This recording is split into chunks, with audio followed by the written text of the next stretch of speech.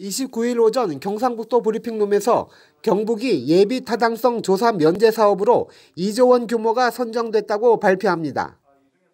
경북도가 당초 신청한 예타 면제 사업은 7조 700억 원의 동해안 고속도로 건설과 4조 300억 원 규모의 동해선 철도 복선화 사업 등 두 건 11조 1천억 원 규모입니다.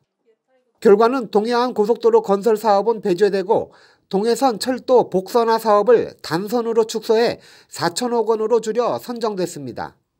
문경 김천 철도 건설 사업은 예타 대상 사업으로 선정됐지만 예타 결과 BC가 낮게 나오면 사업 추진이 불가능합니다. 이런 와중에 경북도는 2조 원대의 예타 사업으로 선정됐다고 공론화합니다. 남북 내륙 철도 김천 거제간 4.7조 원인데 33% 하면 러프하게 하면 1조 6천억 정도 됩니다. 그리고 동해선 단선 전철화가 0.4조니까 하면 저희들 총계적으로 했을 때 2조 원 정도 되거든요.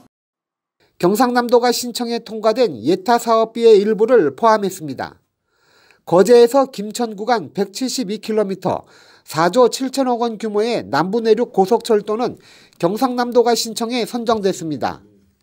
경북도는 이중 57km의 구간이 경북 지역이라는 이유로 전체 사업비의 33% 1조 6천억 원을 경북의 예타 선정 사업비에 포함해 발표합니다. 궁색한 변명이 이어집니다. 뭐 신청은 안 했지만 우리 해당되는 사업이니까 그렇게.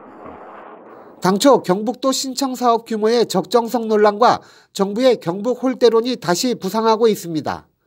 이런 와중에 경북도의 이상한 셈법마저 도마에 오르고 있습니다. 헬로티비 뉴스 홍정표입니다.